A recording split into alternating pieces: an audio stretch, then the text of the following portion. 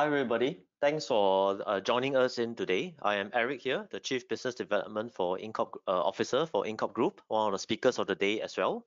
And, and over here in the webcam, I you can see Sarath Menon, uh, Managing Director of Orissa International. So before we start, if you're facing uh, audio issues, right, uh, you can go to the web tool that you can see on the right-hand side of the screen. Go to click on the audio tab uh, and click on no audio first, and then back to computer audio, and this should solve the issue if you are facing an issue. So without further ado, uh, today marks the start of our regional webinar series, co-organized by InCorp Group, a pan-Asia corporate services provider with presence in six countries in Asia. Orissa International, Southeast Asia focused uh, market research firm uh, with presence in six uh, Southeast Asian countries. This webinar series is also supported by our partners, uh, uh, like uh, including Singapore Chinese Chamber of Commerce and Industry, Action Committee for Entrepreneurship, and many of our other network partners in the region. This webinar series will be running from today, June 2nd to the, the 11th, uh, covering key Asian markets, which includes India, Philippines, Indonesia, Hong Kong, Vietnam, and Singapore. So uh, today's session, essentially, we will cover a, a very macro overview uh, topic on uh, planning for the future. How are we, how are companies going to explore business strategies and uh, new markets uh, in this current situation? we hope to, or we will cover uh, today case studies illustrating how companies can improve their existing sales strategies for the Asia region. We aim to educate business owners on what are the key considerations that you will face or you should consider when you look to expand your businesses overseas, which can include legal uh, setting up uh, regulations, taxation, and uh, uh I would say uh, more importantly, comparisons between the key Asian markets uh, in the markets that I've spoken about earlier on. So tomorrow onwards to 11 June, like I say, we will also have country-specific sessions that covers the various countries, of which you can join in for free with the same login and registration uh, uh, that you have signed up uh, for today. So yes, today I'm one of the speakers again, and Sarath here, as you can see in the webcam, I don't know, Sarath, is your webcam on? the format of today's session will also start off with Sarath um, presenting on sales strategy in Southeast Asia, and then I will take on as a second speaker, of which I will cover revenue diversification strategies, and uh, which will cover the key considerations to expanding regionally uh, into Asia. So at the end of our session today, which will take approximately 45 minutes or so, we will open up the floor uh, for a 10-minute Q&A session from the participants. Uh, at any time, if you wish to pose a question, right, you can make use of this webinar tool. Uh, you can see the questions tab uh, in the tool and you can key in your questions anytime during the presentation. Uh, our staff will also start collating uh, some of the questions uh, that you have indicated inside, and then we will discuss on during on during the live Q&A sessions. So without further ado, uh, Sarath, I will pass on the mic to you. Okay, thank you very much, um, Eric. Um, let me um, just uh, launch my slides. Um, alrighty, okay. I think that should be coming up. I think for the purposes of the presentation, let me just switch on my webcam. Um, can you see the um, slides? Okay. Yes, we can. Um, Okay, great. Okay, thank you. Uh, well, uh, once again, uh, uh thank you everybody for joining us uh, this uh, afternoon for um, for this webinar, and I also want to thank Eric for inviting me to join him today to discuss this topic. Um, my name is uh, Sarath Menon, and I am the Managing Director of Orissa International, which is headquartered here in Singapore. And today, my, my webinar will basically revolve around case studies of projects we have done uh, for some companies who have engaged us for various uh, export strategy projects uh, in Southeast Asia. And my purpose in presenting these case studies is basically to illustrate uh, perhaps some mistakes or some things that companies may want to be thinking about, but but they may not be aware of, and examples of what other companies may be doing to improve um, their sales strategy in uh, the region. My hope is that by sharing these examples, this may benefit your own company uh, as you review your own uh, sales strategies for Southeast Asia. Um, I have made these case studies um, uh, anonymous um, uh, in the interest of client confidentiality, but they involve a mix of both multinational companies as well as local companies here in uh, in Singapore and also in the region. And uh, once my presentation is over, I will uh, pass this uh, over to Eric for his segment of the presentation, and I'll be happy to address any questions after that. So just perhaps a quick uh, introduction. Uh, as Eric has mentioned, we are basically a market entry consulting firm headquartered in Singapore, but with offices in Southeast Asia, Malaysia, Thailand, Indonesia, Vietnam, and the Philippines. And basically, the type of services that we provide include everything from helping companies to find distributors to helping companies um, gather market research so that they can put their uh, market entry strategy together. Um, we, we also have a, a, lead generation program to help companies that want to test the market before they uh, uh, fully go into the market as well. Um, what is unique about us is that we have a quite a bit of experience. We've been helping companies now for more than 20 years, and we've done thousands of projects in every sector imaginable. And so this experience has sort of given us a, a unique perspective because we see what good companies are doing when they internationalize and what not so experienced companies are doing uh, when they try to expand into the region. Um, this is just a section of our offices throughout the region. And basically, our team is divided into two groups. We have our market research and our trade teams who do the distributor search and the business uh, matching uh, projects. Uh, a lot of the uh, companies uh, referred to us generally by government export agencies from North America, Europe, and Asia uh, because of uh, our strong track record in helping companies. And uh, in that respect, um, I should also mention that um, uh, we are the in-market consultant in five countries in Southeast Asia for um, Enterprise Singapore. Um, this will give you a sense of some of the sectors we've handled. So uh, we've helped companies selling everything from uh, apples to aerospace, dental equipment to defense equipment, education to environmental, medical to marine, and and uh, more. Uh, so this is just to give you a cross section of some of the uh, sectors we've been involved in. My presentation today is basically to sort of uh, make you think about some of these questions um, that are listed um, over here. And what my plan is that in my presentations, I will try to address uh, these various questions to give you a sense of whether this applies to you and whether there's room for you to also improve or also change your strategy. So let me just perhaps um, uh, dive straight into some of the case studies to give you a sense of uh, what I'm talking about. My first case study is basically about selling to the wrong sector. I know that sounds dramatic, uh, but let me perhaps give you some background as to what I mean. This was a client that was uh, manufacturing um, uh, um, insulated electrical cables and because they were selling into the building and construction sector in Europe, they decided that in entering into the Thai market, um, uh, which is one of the markets they had identified, that they would also sell into the building and construction sector. And so, in that respect, what they did was they identified a distributor in that segment. But after about two years, they were not really achieving any sales in the market. And so they felt it was time to look for a new distributor, which is why they came to us for assistance initially. But as part of the project, they also wanted to know more about the building construction sector. So, what were the building standards uh, for their type of product? Who were the key decision makers? Who were the main developers, contractors? So that they could figure out the route to market in terms of decision makers, influencers, and so forth. So, so as part of the research, we had to find this information, speak to these companies and also to distributors so that we could sort of decide how they could approach the market once they had a new distributor. Um, so we started with the market research. And what did we find?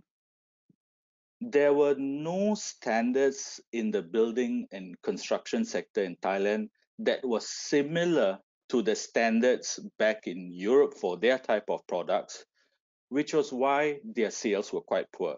They just assumed the standards were there. Uh, but we found something else, and that was in Thailand, there was another industry that had strong standards for the type of products that they were selling. And that was in the oil and gas sector as well as in the critical infrastructure sector. So when I say critical infrastructure, we're talking about power plants and, and so forth.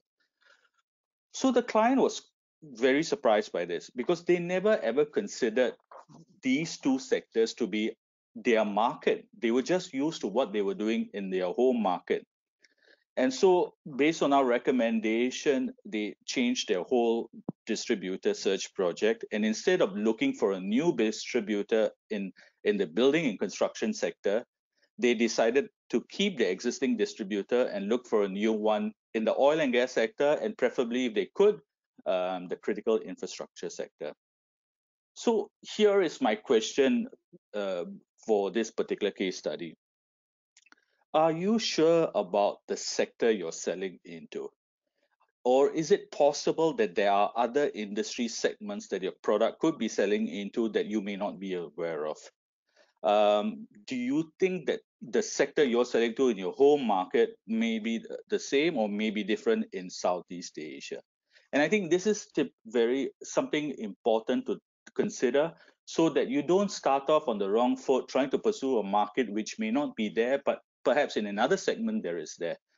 Uh, and that was my purpose in sort of highlighting why um, identifying the right sector to sell into is always something to, to think about. All right. The next sec, uh, case study is about the uh, your distribution network. And so this was a um, agri-tech company that, that was selling throughout Southeast Asia, had also offices in all these countries, and and they approached us to help them find new distributors um, um, in Indonesia and in Vietnam. But when they initially made the inquiry with us, we did not understand the request. Why? Because in Indonesia, they already had more than 30 distributors. And in Vietnam, they had even more distributors. And so we were thinking, how many more distributors can you find? I mean, how many more can you add on? And so we spoke to them and they explained to us their current situation. And when we did some checking, we began to understand why they had asked us to find um, more uh, additional distributors for them. And it was primarily because all their distributors were pretty much connected to two or three main distributors. So we agreed and we went ahead with the project. And what was interesting was this it was clear as we began the project that we could see that they had scope to grow further because uh, there were channels to their end customers which I think they had thought about before that they had never uh, they had not uh, pursued for for lack of resources and and and uh, time. But um, there was this ability to add on more uh, channel partners, more resellers to the existing uh, net network. But this was also what was interesting about this. And I, I mentioned this because many companies don't consider this as part of their uh, in-market strategy. In their case, they said they did not need a company to import the product. Reason? They actually had their own company in the market that could be the eight main importer. So really all they were looking for are the channels to the end customers while they took, they handled the importation. So this allowed them to work with multiple distributors of different sizes and to some extent also control the pricing. So um, maybe some of you are already doing this right now, but I thought I should mention this because with a lot of the companies that we deal with, they don't look at it this way. So I mentioned this case study because I think I found from my own experience that many companies tend to work maybe with one or more distributors because you know there are reasons of exclusivity or because the distributor is also the importer and all that. But if you could strategize and find a way to add more channels, you might find that there may be additional routes to market that you may not have considered as you as you as you look at a particular country. So I just wanted to mention that in terms of your distribution network. My next case study is about this question of market size. All right. And in this case, we had a, a, a company that was um, basically manufacturing a product that was sold into the electronics uh, sector. And so they approached us saying that they wanted to look for a, a, um, a, a channel partner in Indonesia. All right.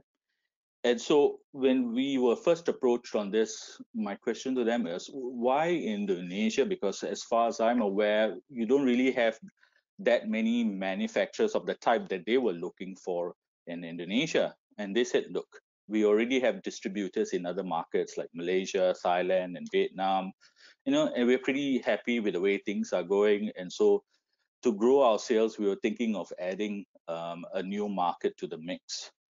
So I asked them, okay, if that's the case, how much are you selling into Malaysia now?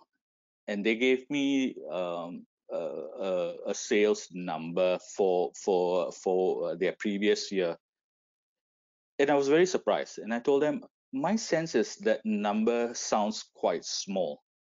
So i asked them so i suggested to them uh, did do you know the mar- so i asked them do you know the market size for your products in malaysia? And they said they did not. So what we did was we did a project to see if we could find market size info now, in this case, we were able to find such information because there was little local manufacturing of their products.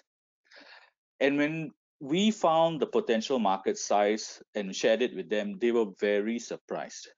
They realized how much bigger the Malaysian market was, and they could see that, okay, maybe our current distributor was not perhaps doing a good enough job as we thought they were. So the project changed and instead of finding a new distributor in another country it was to find additional uh, resellers in an existing market in this case being malaysia. So I, I come across this many times because companies spend more time opening up a new market without really uh, knowing if their existing market can be expanded further and so the the reason is this because they don't have a sense of market size. So they're not sure if a distributor is performing or not or not performing. All right. Now, admittedly, market size info is not easy to get, especially depending on the product. Okay, and or if you're in, your, in the service sector sometimes you can get some info, uh, some information sometimes you have to do make some inferences but i think information like this is always helpful as you decide on market selection and your and your market um, strategy right? my next case study is what is your market strategy right um, so in this case um, I added this because I thought it would be good to highlight a certain point here, and it's especially for companies in the services sector. So this client was selling a service, and their main customers were banks. And they had many multinational bank customers that they were selling to directly in Singapore. So they decided that they wanted to approach the market in the same way in Indonesia by selling to the banks uh, directly over there. Uh, and they were they figured that since they had similar customers um, uh, uh, uh in Indonesia that um, uh, as they were selling to in Singapore that perhaps the the the um, sales cycle would be shorter. So we told them initially that our opinion is it's best to verify the the route to market first before you approach these banks directly because a strategy in Singapore does not mean uh, the same strategy works in Indonesia, but they decided to to um, to move forward and approach uh, the banks directly anyway. So so we went ahead as they the uh, preferred, and so we contacted uh, 20 banks. Uh, many of them were the same clients that they're working for in Singapore. And what happened? Only two banks were interested in meeting with them, and the client couldn't believe it they were very surprised and um, and thought, well, okay, this is not right. But here's the interesting thing. Uh, one year later, when we happened to meet them, they they they indicated they, they still had not had any traction in the market and they sort of came to the realization that actually they should have perhaps looked at the uh, the route to market first before deciding how to make the approach here so why did this strategy of not going direct not work for them? Uh, I think there are two key reasons here. One is the business culture. And I think in Indonesia, and this is going to be the same in other countries as well, it really takes time to build relationships. And the second reason is this if something is not broken, why change things? I mean, these banks already had a vendor providing the same services as the client. So, as far as the bank is concerned, why do I need a change of vendor just because you are selling to the same customers or to my counterparts in another country? So I mentioned this case study because I think it's important to, to highlight this. We tend to work with a lot of companies who are always looking for ways to get into the market. But very few companies think about how to build the relationships with customers so that they can find a strategy to displace a current vendor. So I thought I, I should mention that as part of this thing. All right. This will be my last um, uh, sort of case study. Um, and in um, I thought it might be something to think about, uh, especially in, in our current environment. In this particular case, it was um, uh, for some of the challenges that uh, I've mentioned earlier. In this case, this company was having quite a lot of problems. You know, they were they were having problems finding a distributor in Vietnam. Yet on the other hand, they also knew from experience in other countries that maybe distributors are not so proactive. Um, the client was uh, uh not ready to set up their own entity yet. So so we decided let's propose something else to you.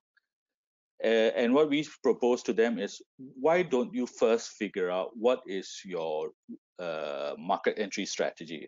Identify your end customers, identify your distributors, who are your competitors, why is your solution better than others? Prepare, you know, your uh, collateral in local language and so forth. And then after that, let us do a lead generation uh, campaign for you where, you know, our in-country team can talk to potential customers and to channel partners. And use this opportunity to sort of test the market. See what your uh, your customers are saying. Maybe they don't want to buy the whole system. Maybe they maybe they only want to buy part of system. It's an opportunity to also see does your pricing work in the market? And then if you do get an inquiry see if the company eh, the customer is willing to to buy direct and if not ask one of the distributors that perhaps you've had a dialogue with earlier if they are willing to be the important so that you can use this as a way to kickstart the the relationship. So why do I, we why did we propose this? Many a times we come across cases where companies have difficulty finding distributors or they complain that their distributors are not active or they don't know what is the problem. Is it a pricing issue? They, they just don't have any sense of the market. So what we were trying to suggest to them is that uh, it, sometimes what you have to do is you, you've got to uh, take a deeper dive in terms of understanding the market. And there, there are ways to doing this before you really uh, go full into the mark, uh, market and try to figure out things.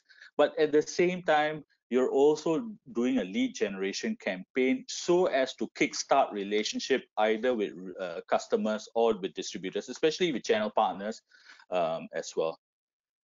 And why do I think uh, this is important? Look, I think um, this is a situation right now where because of the pandemic and all that, many many think companies are thinking of onshoring manufacturing and all that. But at the same time, uh, there's also going to be a situation where there could be more competition for distributors.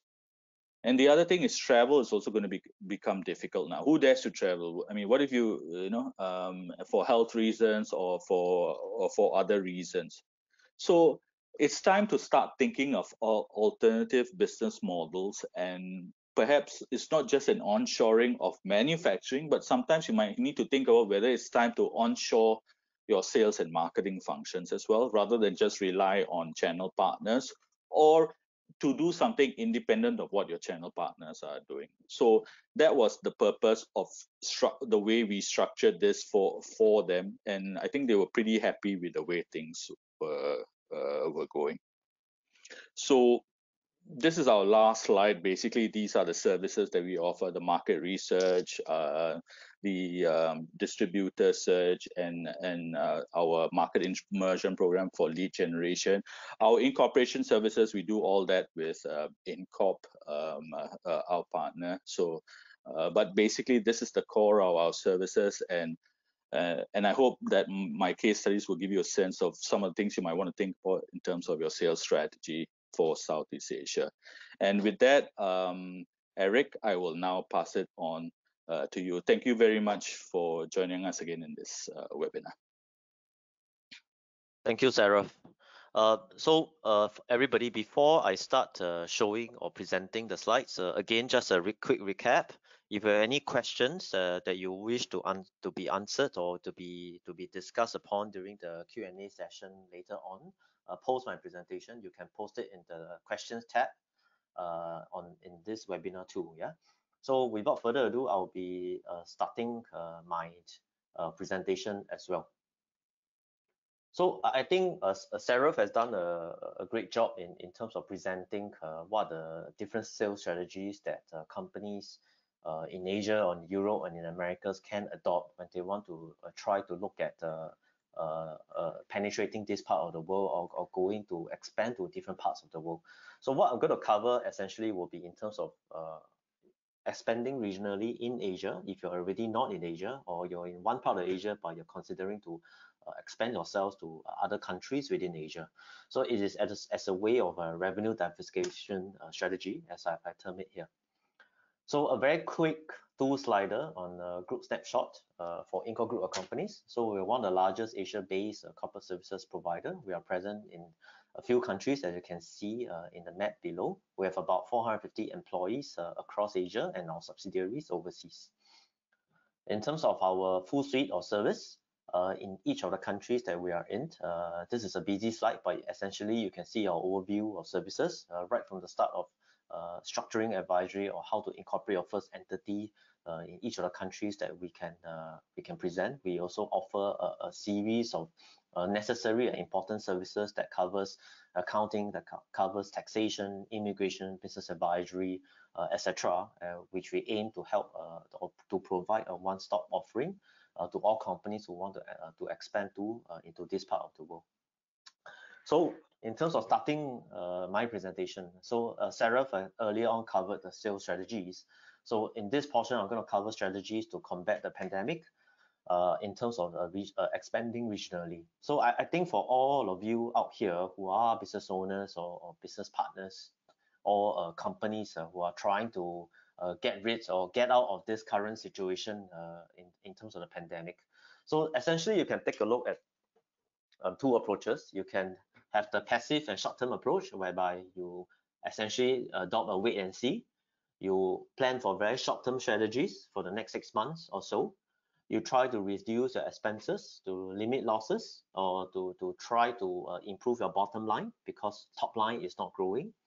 Or you try to take advantage of certain government support schemes that your country or where your company is based in uh, offers or you can choose to be to take on a, a, longer or longer term approach or a more active approach you start planning for the next one to three year uh, strategies you look at international markets as means of uh, expansion uh, and also as a mean of uh, revenue diversification away from your home country.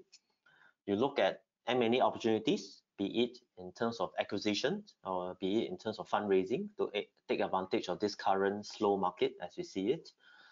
You try to again take advantage of government schemes uh, that help you uh, expand overseas. So for example, in Singapore, uh, the Singapore government gives certain grants uh, to help Singapore companies to expand overseas or you try to leverage on uh, digital or technology solutions uh, or even digital branding or digital marketing to try to build on a longer term approach to, to brand building.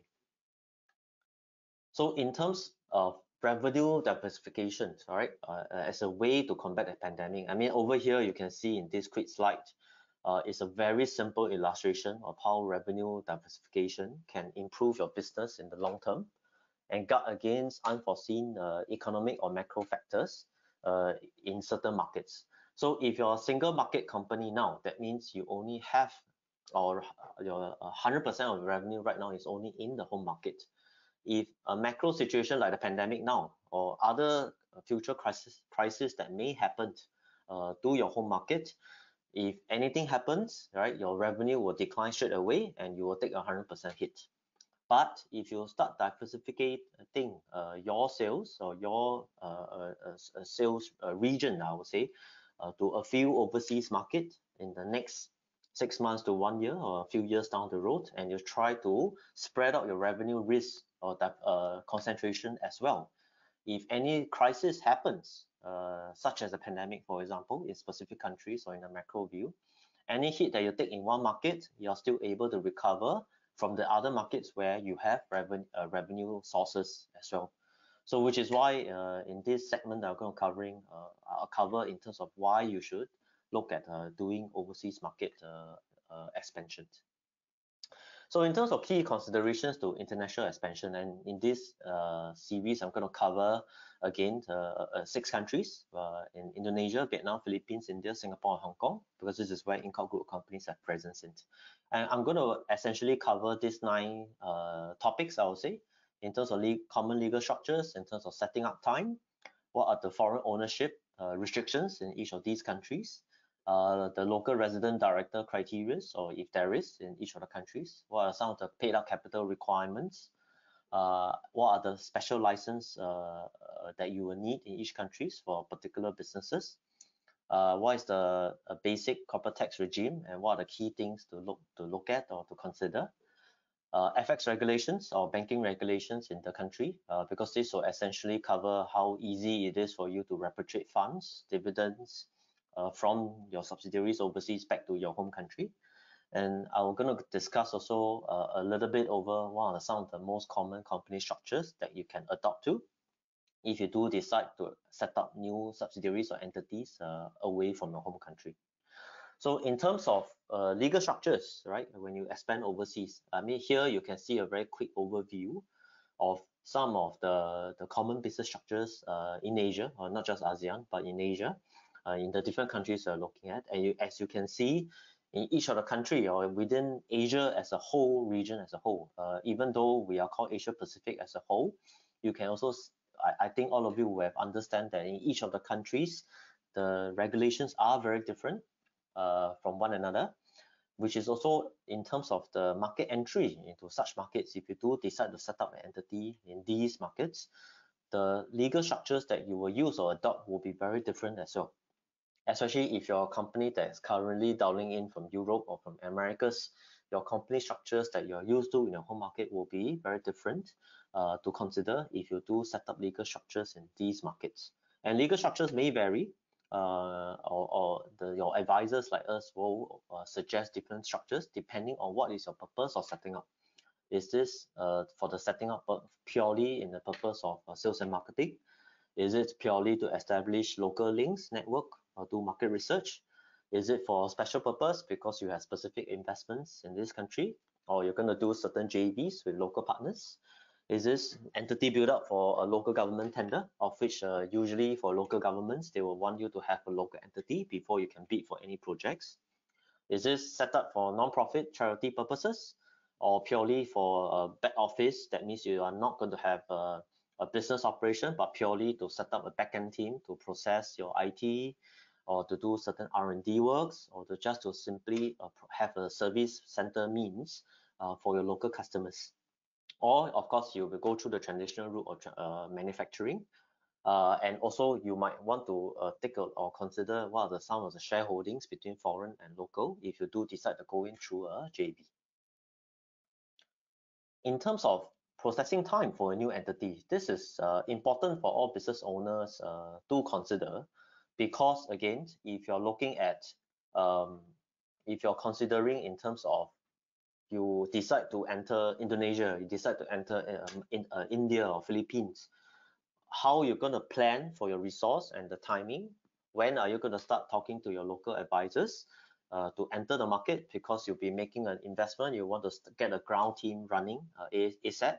It's important to understand how long will you take for you to start an entity, to start your business, right? You will, it's important for you to understand in terms of World Bank ranking, how these uh, countries rank uh, in the in the world uh, in terms of ease of starting a business and in terms of overall uh, World Bank ranking in terms of doing business as a whole. So in this table, you can see uh, for the six countries involved, uh, countries like Singapore and Hong Kong is simple or easy to start a business. It takes between one to within a week or so or within a few days for you to start a legal entity. So in terms of that, uh, to get ground started, to start your earning your first revenue, is pretty fast and which also links to how in terms of World Bank ranking, Hong Kong and Singapore ranks very high uh, in the world. Um, in terms of other markets such as Indonesia, India, Philippines, and Vietnam, uh, you can also realize that um, your the, the timing to start a business or entity takes a much longer because local regulations is a lot more complex versus financial hubs like Singapore and Hong Kong. So for example, a country like Indonesia will take you anywhere in between 30 to 50 days uh, to start a business and the process to start the entity uh, to get the necessary licenses is also much longer like Singapore and Hong Kong, which also translates to the ease, the ranking of uh, ease of starting a business is also way higher. So over here, you can see uh, one of the hardest country to start anything will be Philippines. It takes anywhere between one to three months uh, to start the legal entity. So the time to entry and setup will also determine how much time and resource uh, of your staff strength, of yourself time or your own time uh, to invest into uh, starting the business and when you're going to start your earning your first dollar. Um, in terms of expanding overseas, it's also important uh, for everybody to understand what the regulations to uh, foreign ownership or whether there is any foreign restrictions or foreign ownership restriction, restrictions in each of the countries. So if you look at this table uh, as a comparison table between all the countries, you can see that in countries like Singapore and Hong Kong, generally there are no foreign ownership restrictions. 100, the entities that you set up can be 100% uh, foreign owned and there is no special uh, industry or negative list that uh, have uh, um, a ratio between how much a local uh, shareholder needs to own versus a foreign company. So in other countries such as Indonesia, Philippines, and Vietnam and India, right? Uh, generally, yes, foreign ownership is allowed, but if your the your intended business nature in the com in the country will be or falls within the negative list or, or, or foreign investment negative list, you will need a local partner or you need to go through special structuring in each of the countries uh, before you can even start setting an entity and forming a business. So before deciding on the country, right, before and, and, and after understanding the market, after you engage, say, Orissa to do market research and a corporate advisor like us, it gives you all the options available for you to understand, is this a country where I can bring my business in into? And if I can, how much of the ownership can I own in these structures? And what are the structures uh, that I should adopt in each of the countries? Um, and, and in terms of some of the foreign investment approval from the local governments, right, for you to even start operating, do you need the license at point of incorporation or do you need the license post incorporation? So in each of these countries, it's also very um, different. And you can also see that shareholder requirements is also different in each of the country, whereby different legal structures where you need minimum one shareholder. There are some countries like India, Philippines, or Indonesia, you need minimum two shareholders in this case. And in terms of whether a, a, corporate shareholder is allowed, yes, in all the countries, corporate shareholders are allowed. So what if your industry falls under the negative list, right? Uh, whether is there a percentage where you need a local to own a majority in the business, in the company, or you need a local to own, uh, to have a minority stake, or you definitely need to go in with a JV structure.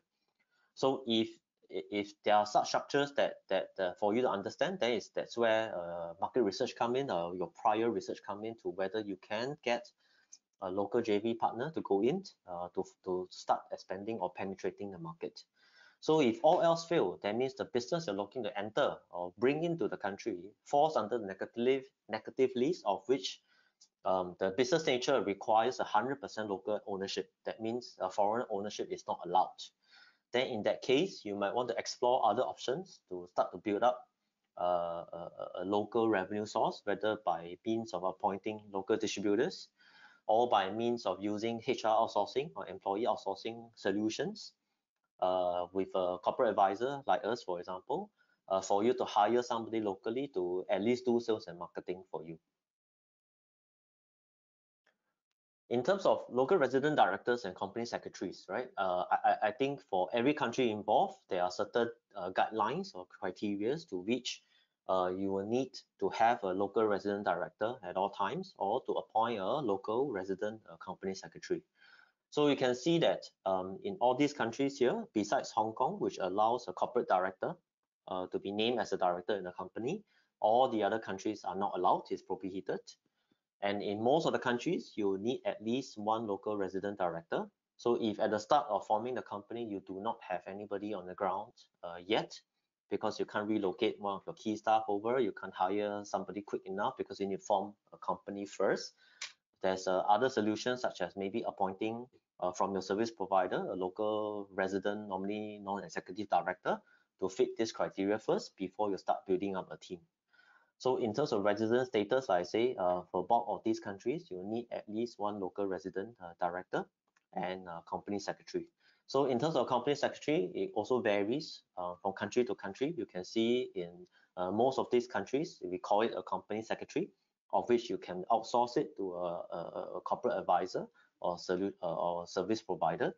There are some countries where they don't call it a company secretary, they call it a commissioner or they call it a chief accountant, say in the likes of uh, Vietnam, or maybe in the likes of uh, China, for example, you, they call it a legal rep. So in this case, uh, uh, these are some of the very tools or requirements that each country uh, will bring you.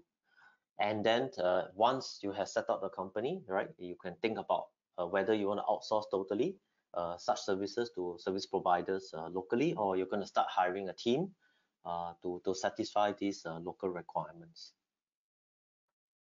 So in terms of paid out capital, I think this is important for any company uh, who are looking at forming new subsidiaries or entities in these markets because you want to ensure that you are aware of what is the minimum paid out capital that you will need to form a legal entity, how much investment costs you need to put in, besides the, the, the advisor cost, the legal uh, market research cost, or the legal costs uh, that you need incur to set up an entity. So in each of these uh, markets here, uh, I would like to point out to the minimum paid up capital uh, segment, uh, which is here. You can see that it also differs from country to country. For financial hubs like Singapore and Hong Kong, again, right, the minimum setup requirement is low. You just need $1 minimally um, to set up a company. But of course, depending on which uh, industry you're in, uh, you might want to set up a company with a higher uh, paid up capital structure. But again, to form a company at the start, before infusing future capital, you just need $1 to start a company first. But of course, if you look at other markets such as uh, Philippines, for example, right, if you're going to engage to start a local subsidiary, uh, of which is majority uh, owned by a foreign company or to do a trading company, or sales and marketing company, you need to have a minimum paid out capital of at least uh, US dollar 200,000. If you look at Indonesia, right, uh, if you want to have uh, a full foreign owned company, which in legal, local legal structure form, they call it the PTPMA, uh, you will need to submit an investment plan of uh, 800,000 uh, for the start and then start infusing this 800,000 over a series of a few years uh, later on. So uh, these are some of the, the the special rules that you will need to understand, right? Uh, before you can enter the market and, and decide, okay, this is a country I can go in. And in, in bulk of these markets, most of the shares must be paid up before legal incorporation. Yeah. So understanding payout capital, uh, paid up capital requirements uh, will help you understand and plan better plan for your cash flow uh, before you can you can think about uh, engaging somebody to do it uh, for real. Yeah. Um, in terms of government licenses, I think this is important for all businesses uh, to consider because it can be a potential stumbling block for you if you want to penetrate the market. So over here, I have uh, shown a series of um, uh, uh, government news, right, from various countries, of which the government gives a roadblock or they do not approve a license for companies who want to go in, right? In recent years, you can see Gojek's license approval being rejected. Uh, as a route hailing, uh, a ride hailing or cab service, right? When they want to enter Philippines, uh, you can see that in in Singapore's term, right? Um, the central bank has uh, uh, give special uh, license regulations uh, recently for existing companies who are in the payment services space, or they have also give warnings to cryptocurrency exchanges that have been formed uh, in Singapore, or they have also uh, stopped issuing new licenses for e-scooting sharing services. So these are some of the examples that you should consider. Is your industry type something that's too unique for the country to accept? Is it something that you need to start engaging uh, with the local government first or start understanding whether this is something that will be approved, right, before you start planning for resources uh, to enter the market? So this is uh, important for all of you uh, out here today uh, to consider. In terms of tax regime, I think this is again uh, interesting for all business owners out here to understand what the taxes uh, what is the basic corporate tax regime and corporate tax rate in each of these markets, whether there is VAT or GST or goods and services tax uh, in each of the markets, what is the dividend tax regime in each of these local markets once your subsidiary in this market start earning uh, profits and, and you want to repatriate dividends back to your home country, what would be the taxation level? Is it easy to pay for corporate taxes in these countries, right? According to the World Bank, as well as uh, the approximate time for you to comply uh, on an annual basis. So if you look at uh, all these markets here, obviously for again for Singapore, Hong Kong, we are one of the uh, I would say uh, competitively uh, priced in terms of taxation, right? We are not the zero tax jurisdiction in the world, but among AAA countries, we are one of the lowest in the world. Uh, in terms of uh, corporate tax uh, regime, of which if you look at a bit more difficult and complex markets such as the India, Indonesia, Philippines, and Vietnam, you can see corporate tax rates being higher in these more complex countries. Uh, in terms of dividends tax, uh, I think for some of these markets, dividend, uh, when you declare declare dividends um, from your local subsidiaries back to home markets, is most of these countries will adopt a zero tax regime in the local market. But in certain countries like Indonesia, Philippines, there is certain the withholding tax uh, involved in the local market, right? You be maybe you may be taxed a certain percentage before you can even repatriate the profits uh, back to your home country. And in terms of uh, ease of paying or filing for corporate tax uh, in the market, whether you need to do it once a year or you need to do it quarterly uh, every every three months or you need to do it every monthly, uh, some of these markets are difficult, right? Of which, if you look at World Bank rankings in terms of ease of paying taxes, I think this gives you a sense of um, how easy it is um, for you uh, to pay taxes. So the higher the rank, obviously, it'd be more difficult for you to file for taxes. So if you look at Vietnam alone, uh, it ranks 109 in the world uh, in terms of ease of paying taxes, which means it, is difficult. And on average, you need about 380 hours a year to comply and pay for your taxes, of which more easier markets such as Singapore and Hong Kong, you take a lot lesser time uh, to do this. So it's good to understand how long it is or how easy it is for you to comply uh, with local tax regime, because the more complex it is, obviously you're going to incur higher expenses in terms of staff strength, in terms of outsourcing out to tax uh, agents uh, locally uh, to prepare for taxes for filing.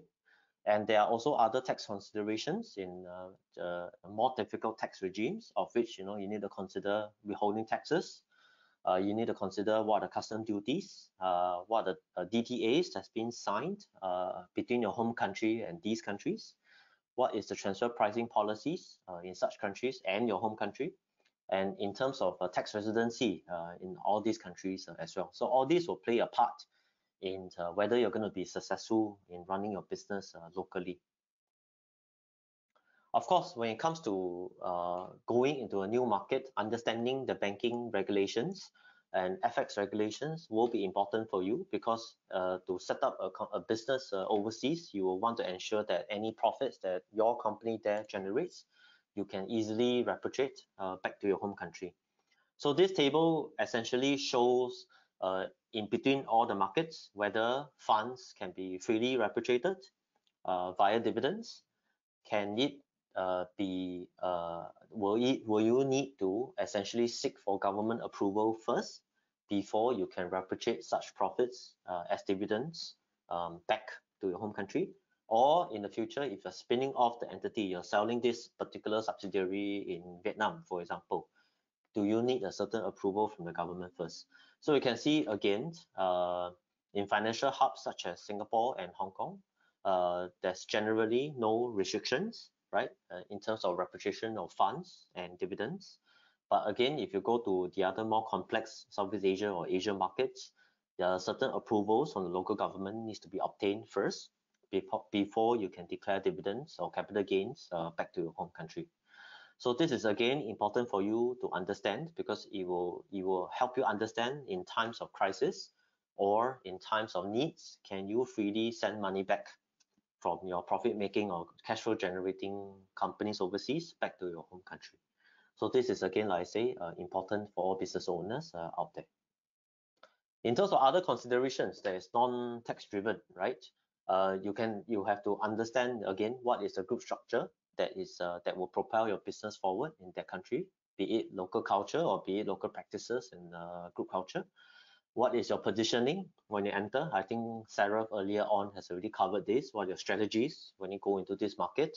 Is the market in this new market in these countries opened or be able to be acceptable uh, to accept uh, your business solutions and uh, products they're going to bring in what is the ease and flexibility to acquire to divest uh, your your uh, your business or to acquire other businesses in these countries?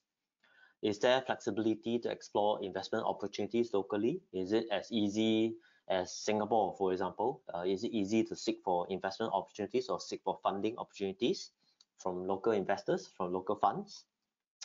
Are you able uh, to ring fence your business risks right or your potential liabilities when you go into or enter into new markets, when you start signing for new business contracts, how is easy it is legally in these countries for you to ring fence your risk. And also if in times where you do need to go to court, you need to go into a legal dispute, how easy or difficult or expensive it is for you to file for claims and, and seek demands uh, when you come to uh, that portions. So these are some of the, I would say, the key uh, other non-tax considerations uh, that you should consider.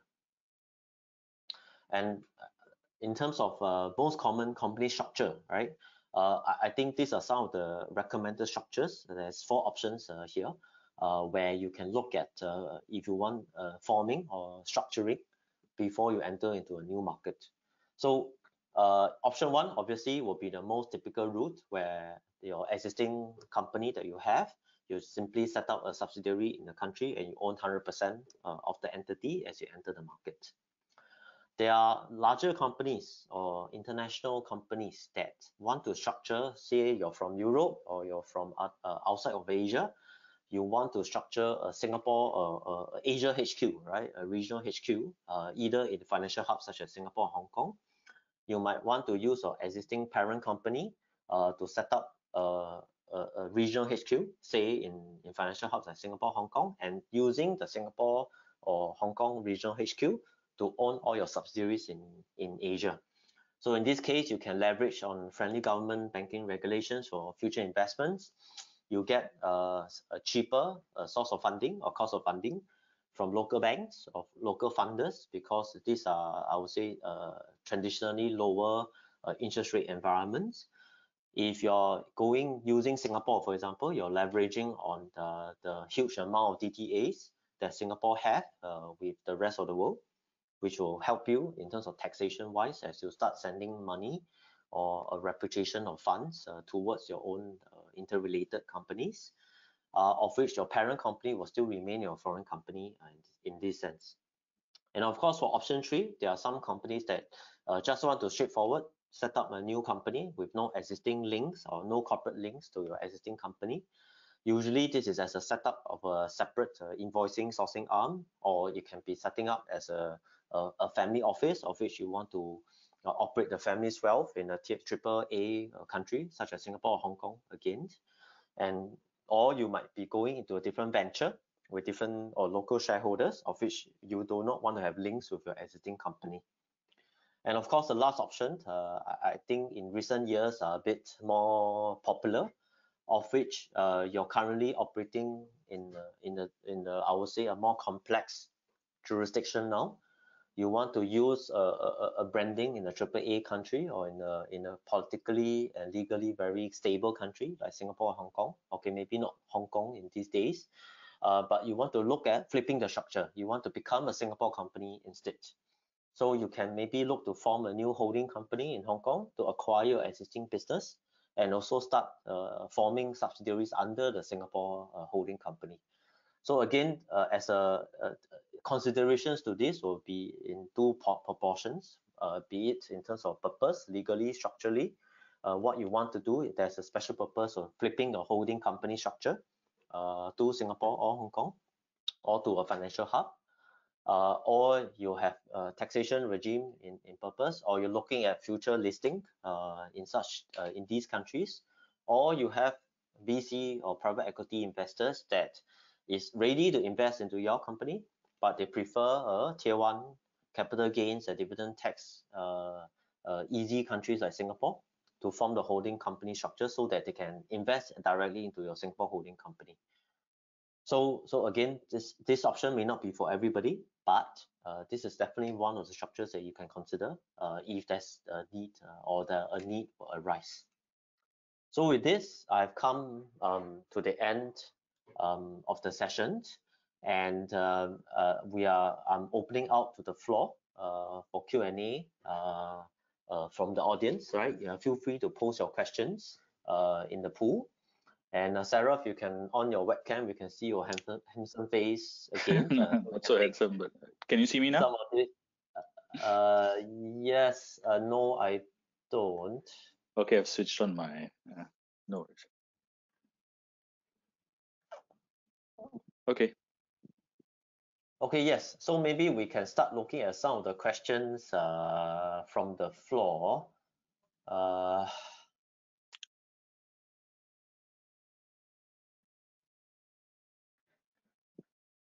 Okay, so maybe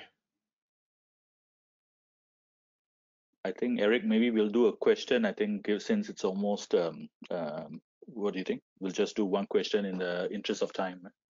Sure, sure. So so maybe uh Sarath uh for you, uh, in terms of the uh in terms of hold on yeah, let me bring up my page. Sorry, there's a technical no worries, no worries. error.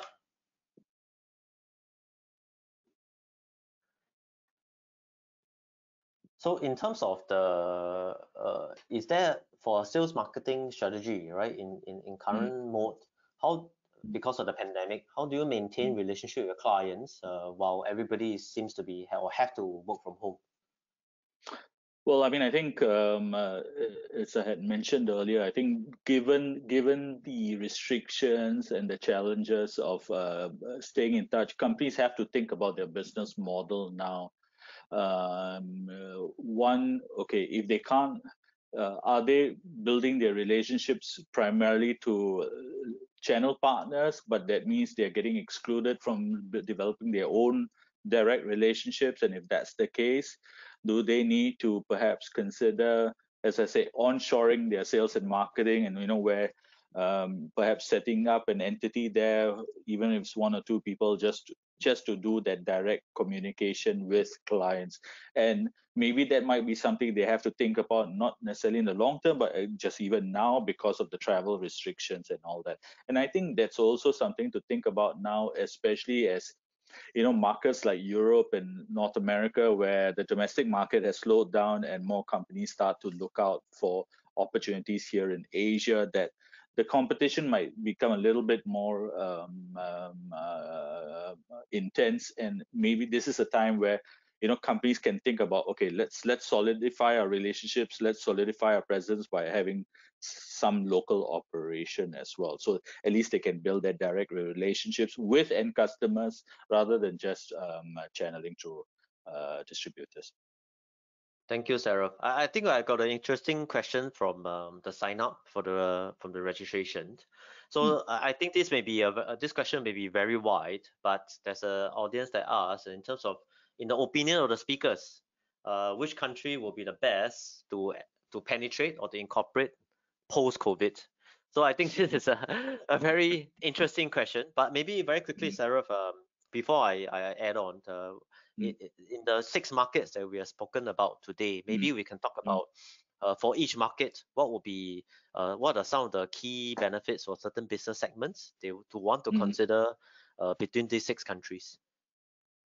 Well, I mean, uh, uh, uh, clearly it depends on the uh, the product or the service that they're looking at. But of course, without question, the flavor of the season right now is Vietnam, right? I mean, I think the fact is that there's so much going on in Vietnam right now in terms of uh, FDI going in, the interest in the market, how they've uh, come out of this whole COVID environment. So I think Vietnam, depending on the fit, could be one market to look at.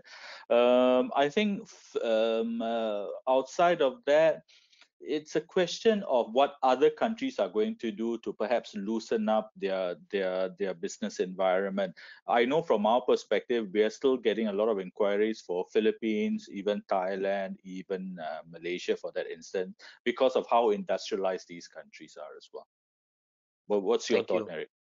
No, I, I agree with you. I, I guess to everybody out here, in ter in terms mm. of uh, rather than asking us the question on whether which country is the best place to go, uh, we mm. need to yes, we need to understand what is your business trying to promote, what is your mm. business trying to sell. I mm. don't think there's a market that is a no-no for any business, right? But once you with a correct uh, entry point, with a correct strategy to go into the market, I think all these countries uh, will suit most businesses.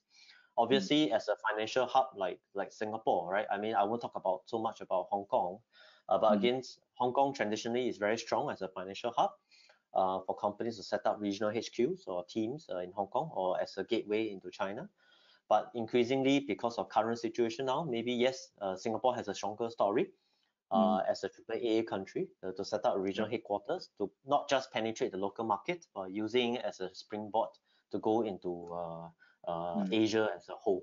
And of mm. course, mm. for manufacturers out there, uh, countries like Vietnam, Indonesia, Malaysia, Philippines are very strong uh, in terms of managing setup because cost of funding, not the cost of operating there, and work manpower cost is low.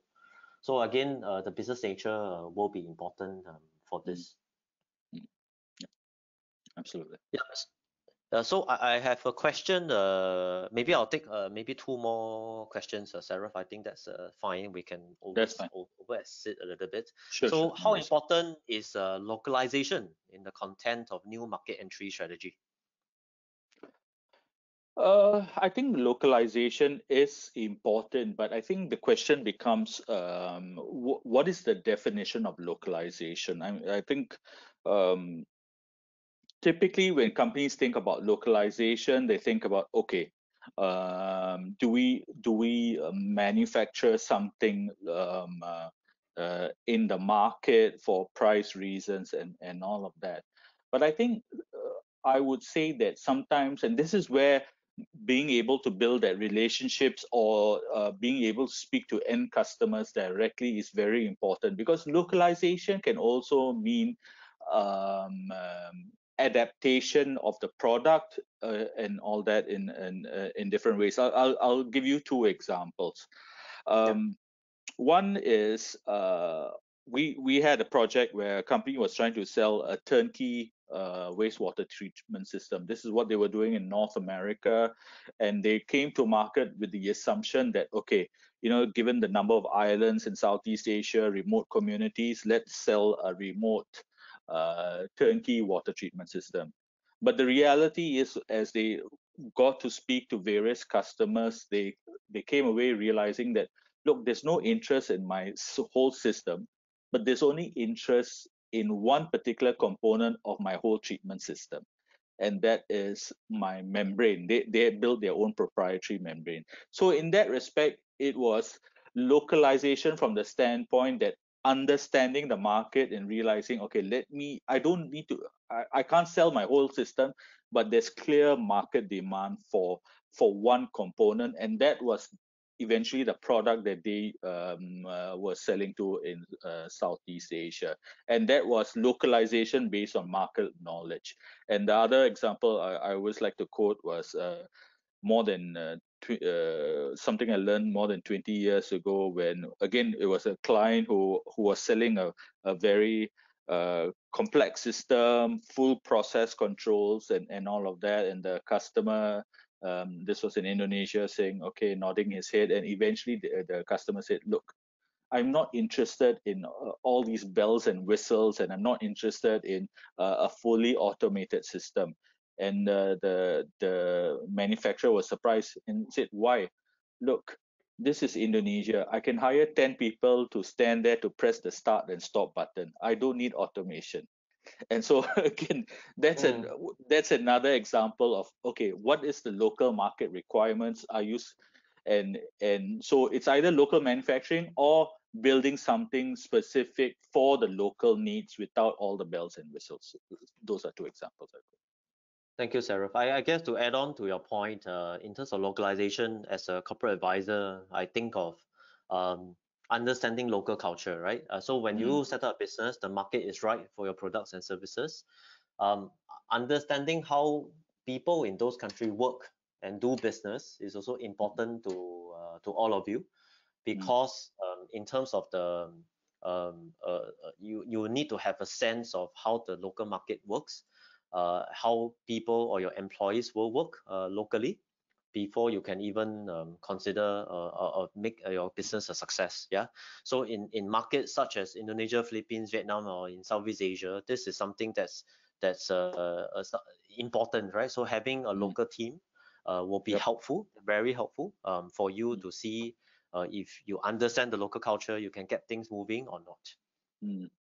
So I, I think so. I think we will take the last um, question, right? Uh, so again, I, I, think since we are in the pandemic here, I, I see a few questions um, in terms of um, what would be the impact on the political situation or government uh, factors uh, due to the current pandemic situation. Maybe we're ending off with this uh, last question. So any any thoughts on this, uh, Sarath? Oh, on the politics. Uh, I suppose.